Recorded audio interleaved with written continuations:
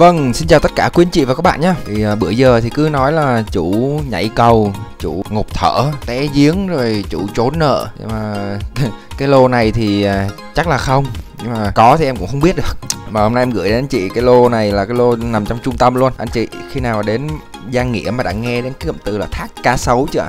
Cái thác này là nó nằm tại trung tâm thành phố rồi nhá trung tâm thành phố. Sát trung tâm luôn nói chung là đây là trung tâm của trung tâm. Đó có một cái thác và đây là đất của tư nhân nhá chứ không phải đất của nhà nước. Cái thác này với tổng diện tích là 8.194 mét vuông. Đây là đi từ ờ, phường nghĩa tân đi vào nha anh chị nhé đi vào từ ờ, tái định cư làng quân nhân đi vào. Đó, còn bên kia là bên ờ, nghĩa trung đi vào. Con thác này thì rất là đẹp. Chút nữa anh chị sẽ xem được là flycam và camera quay ở phía dưới. Rồi đây là sổ của nó. Sổ là thuộc uh, tổ 6 Nghĩa Tân. Có đường vào hết nha anh chị nhé Rồi còn uh, về vấn đề khoảng cách Nó cách trung tâm thành phố Gia Nghĩa tầm mấy cây à? Đây anh chị uh, coi Đi từ 233 qua quốc lộ 4 Đi vào đường Lê Duẩn Rồi đến vị trí lô đất. Cách 5,4 km nha anh chị nhé Rồi hãy cùng em uh, khám phá camera phía bên dưới đi.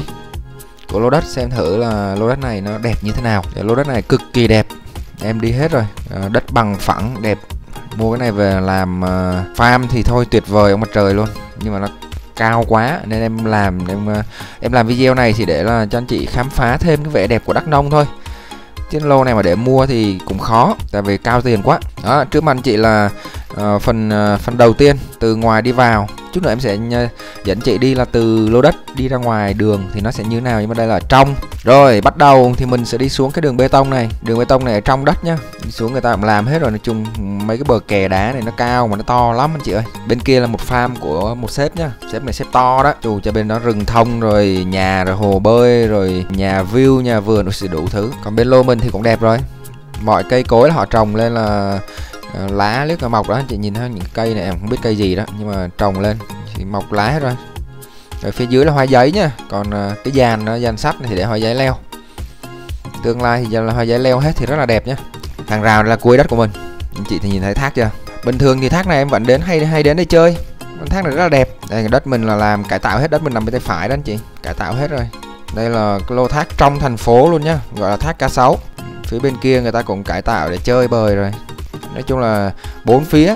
Anh chị cứ từ từ tận hưởng đi chung lô này thì em không có để giá ở trên đâu. Anh chị mà muốn tham khảo giá thì anh chị vui lòng gọi điện cho em nhé lô này cao lắm. Thật sự nếu mà để nói mà để mua lô này làm thì mua xong là hết tiền vốn rồi. Ừ. Để rất là cao. Nhưng mà em thì em vẫn muốn làm cho anh, anh chị nhìn cái bờ kè chưa? Kè đá đó. Ta làm rất là là là, là kỹ càng ừ, rồi anh chị khám phá thêm nhá. Chủ chả đây bên kia rừng thông. Nói chung bên bên đối diện nó có cái rừng thông bên nó cũng đẹp. Nhà sếp đó làm rừng thông rồi hồ bơi rồi nhà kiểu hiện đại ấy. Trời ơi nó đẹp mà nó mát. Vô nhìn là yêu luôn. Xưa trước Tết em đi ngang qua đó thấy mấy bạn nhân viên từ bên bên nào các bạn chắc phải mấy chục người qua quét dọn lá cây quét đó mà quét sao nổi trời. Đất rộng quá mà. Ừ, Anh chị nhìn thấy mấy cái cây mà nó mọc lá liếc đầy đủ. Nói chung ở đây thì mát mẻ. Ừ, ở dưới là có ngày xưa ở dưới đó có một cái cái cái, cái hầm. Suối nó chảy xuống là mình ở dưới hầm mình chơi được.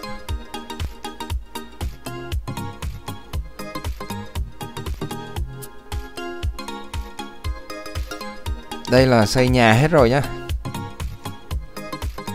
Ừ, đất đây là đất thương mại dịch vụ nha anh chị nha. Xung quanh đây là đất thương mại dịch vụ hết.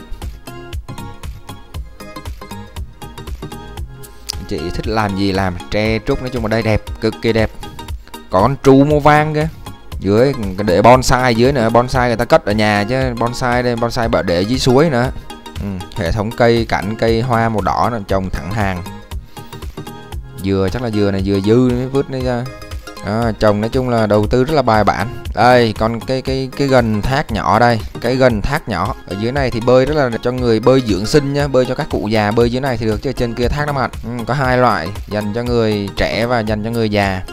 Rồi cùng em ờ, khám phá thêm về ờ, đi từ trong đất ra ngoài đường nhựa nhé ra ngoài quốc lộ 14 đây ở trong đất mình đây. Rồi bắt đầu let's go! Bên trồng hoa giấy hoa đồ đủ màu sắc đó em ờ, cho nó phóng nhanh tí đi.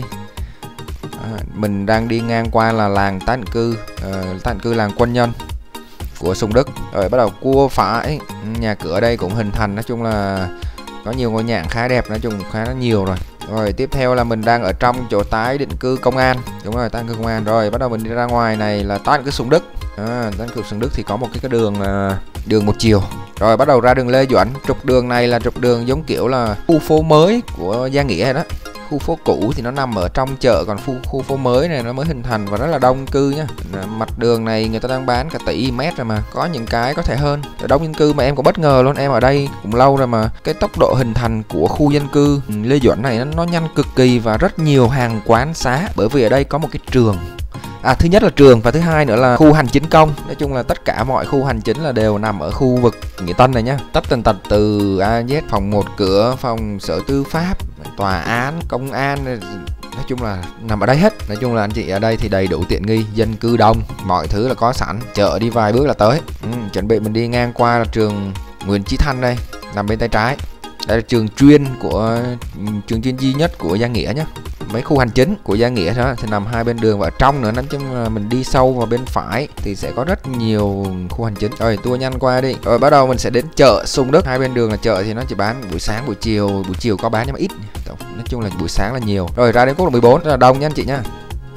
rồi, tiếp theo thì anh chị cùng em đi khám phá flycam nhé Ừ, mời anh chị tham quan thêm uh, tham khảo thêm về một ít cái hình ảnh flash uh, ờ, video cam. Nói chung lô này cao lắm để bán thêm nghĩ là rất khó để bán. Để tham khảo mình xem chơi xem thử gia nghĩa tương lai uh, các nhà đầu tư nào về rồi đầu tư như thế nào. Ở đây cũng là một trong những địa điểm vui chơi khá là hay đó. Rồi mời anh chị tham khảo về flycam nhé